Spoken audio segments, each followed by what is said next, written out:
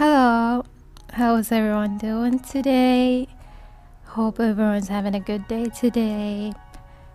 So, in today's video, I want to talk about Dolls reruns and Revived Witch, like how that system work or the pattern of it.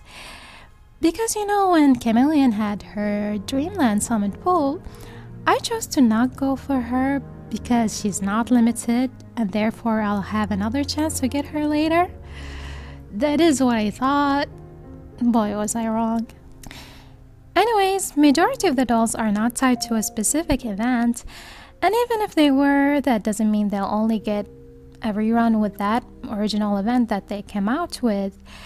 Case in point, Tunnel of Night and Nanner. That's why I didn't think that would be a good indicator of whether they'll return or not. And instead, I looked into all the dolls who had gotten their rerun to see if there is a pattern to that whole process and to essentially see the likelihood of her, Chameleon, and other dolls returning.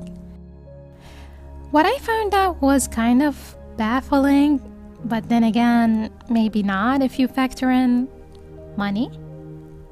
Regardless, I thought all that was interesting, and I'm curious to see what everyone thinks of this. So, allow me to share with you what I found. I checked all the dolls reruns from the end of year 2021 till the very end of 2022. From my recollection, Global, unlike CN, didn't have in between dolls. And what I mean by in between dolls is dolls that are not mentioned in an update note or maintenance note. In other words, in between event filler dolls. Therefore, the dolls in the note should be all of them. And so here are all the dolls that I got in every run. The first three dolls to have an awakening pool are Tonal, Minir, Caledonia. I'm lumping those three together because that's the first for each of them to have appeared on a patch note, yet their pools are under Awakening Pool. Perhaps it's because they were in the starter pool. I don't know. I'm not a day one player, so I can't say if those dolls had a pool before that. All I can go off of are the official notes. Then we have Selenia.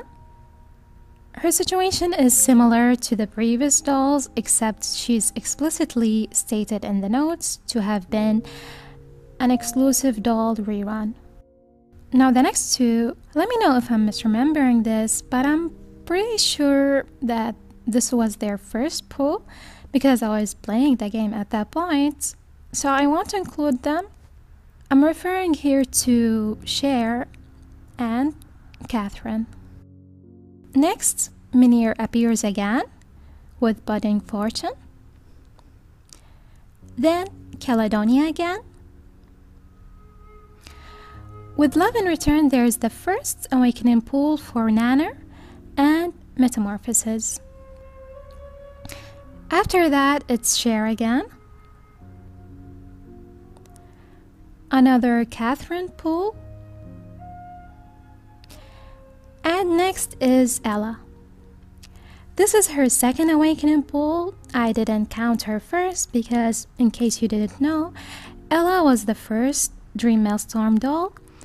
And with Dream Maelstrom dolls, after their monthly time ends, they have their first ever rate up in an awakening pool. So their awakening pool is technically their first so that's why you won't see other Dream Maelstrom dolls here, because they only had one Awakening pool.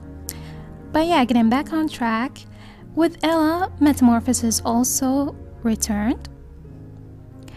Then two exclusive dolls reruns, Idol Flora and Circe Ivy. Following that, there were Nanner and Metamorphosis. Next, another exclusive pool with Selenia and Awakening pool for Tunnel of Night. Now nearing the end of the year, there were Tunnel and Kepla.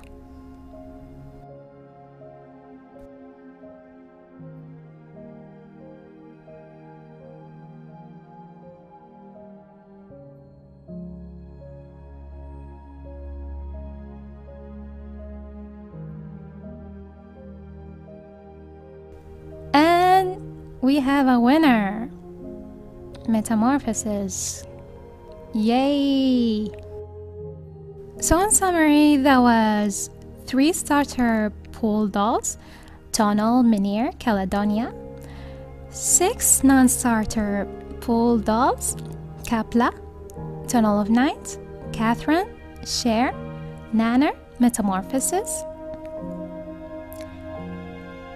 three limited dolls Idol Flora, Circe Ivy, Selenia, and last but not least, one Dream Maelstrom doll, Ella. Putting it that way makes it seem not that bad, like the exclusive that had gotten a rerun were highly requested, so it's good that they have returned, except Idol Flora, no one cares about Flora, Idol or not. But yeah, outside of that, it's the same dolls over and over again. And to my knowledge, with the exception of Kapla, all the starter and not starter pool dolls also appeared in the Petal shop. Yeah, they're inescapable. Judging from all of that, I don't expect many dolls variety for 2023 unless we get saved by events. Which is the reason why Ella and top rerun dolls Metamorphosis appeared on here so much because they were involved with a lot of events, um, stories for 2022. But I'm gonna leave it here. Sorry if I rambled on too much. Um, so what do you think of all of that? Do you think this doll's rerun pattern will change anytime soon? Or will this carry on to 2023? But with other six dolls appearing over and over again? And yeah, thank you so much for watching liking, commenting, and subscribing. Till the next one.